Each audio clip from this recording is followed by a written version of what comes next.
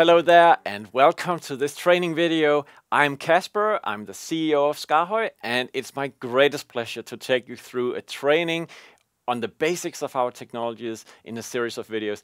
So we have a PTZ Pro with us. This is how it would arrive with DHL at your location. You uh, open the box, okay, so it's a cardboard box, that's tricky. And inside you'll see power supply. Inside this box, there's power supply for um, a power outlet, Ethernet cable, USB cable. The USB cable is used for configuration. We'll do that in just a second. The Ethernet cable can be both your power source and the signal source. It's the power source if you have a PoE switch, and that is how we are going to use it. I'll just put this aside because we don't need it in this video, so we'll just take this over here.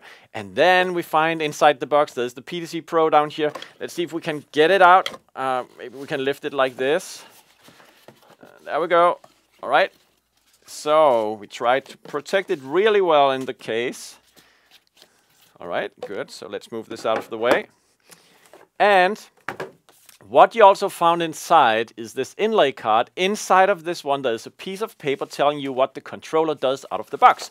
So we wanted it to be super easy for you. So since our controllers can support a lot of different things, the challenge is how to ship this to you and make it easy out of the box to get it working.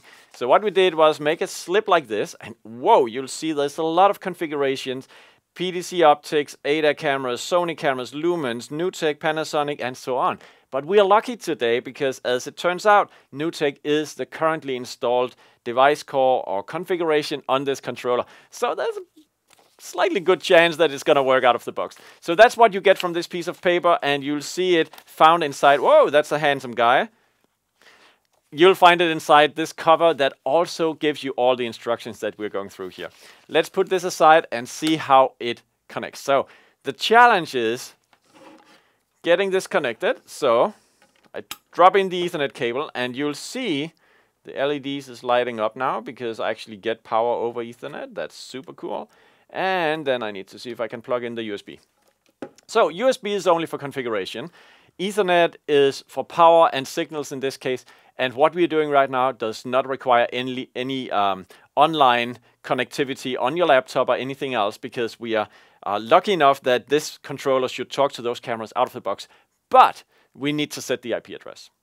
So what we do, what I've done already, is to download the SKAARHOJ firmware updater application. Go to our website, in the support section, you find a link to the firmware updater. So download that on your uh, computer so you can actually access the controller. You see, it has found the controller by this slightly cryptic string USB modem. I now click the IP configuration button and a window will pop up that tells me that the controller currently has an IP address which is static and it also tries to talk to a NewTek camera on uh, this IP address. Now, First of all, I don't want static. I want dy uh, dynamic IP address for the controller itself. So the NewTek cameras would have to, uh, I enter the, the IP address of the first camera. So this one, the first camera, is 210. And the way the controller works is that by uh, at, um, entering the first camera address, it's going to search for camera 2, 3, 4, 5, 6, and 7, and so forth by looking at the next IP addresses. So that's going to be IP address 211, 12, 13, and so forth. Let's see what happens. I'm going to save the IP address right now. And by clicking that button, it is written into the controller that the IP address now needs to change, and you see the controller is booting. We see the logo screen there. And now it's going to be exciting. There we go. And voila! I can see that it's connected because these buttons, camera 1, 4, and 5, they light up green. Slightly green, and now it's, it's uh, brighter green. So I also see something else. When I'm, I'm, I'm toggling the cameras, you can see that these um, exposure settings are changing because each camera are apparently set up differently. On, on this camera, you can see I'm controlling that camera. That's great.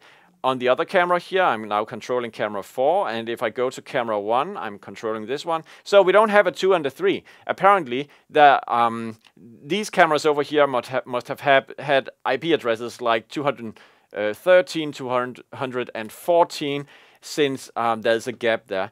So, um, well, this is something I've covered in so many other videos, but we are super excited about the fact that this information here is actually pulled out of the camera. This is why you see it's different.